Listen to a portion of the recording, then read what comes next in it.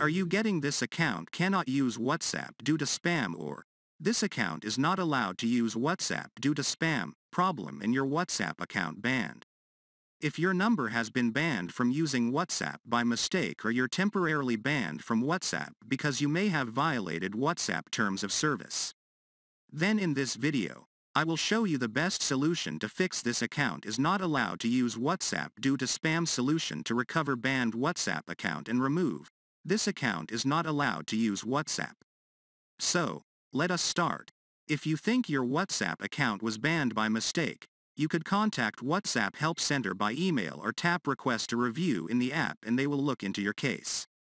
Go to Play Store. Now search for WhatsApp Business. Install it and try to activate your number.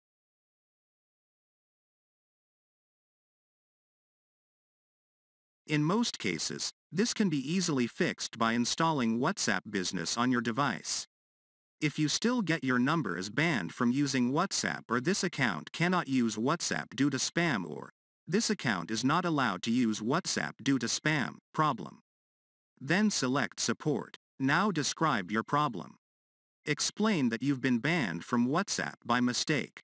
Hi team, my WhatsApp account was banned by mistake. Could you please kindly help me to recover my WhatsApp account? Thanks. Next step.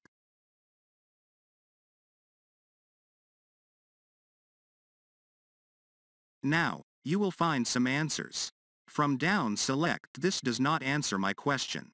It will create email. Just send the email. After you've submitted the request, wait for some time for WhatsApp's decision. They will contact you via the email address that you've sent. So, this is the best solution to fix this account is not allowed to use WhatsApp due to spam.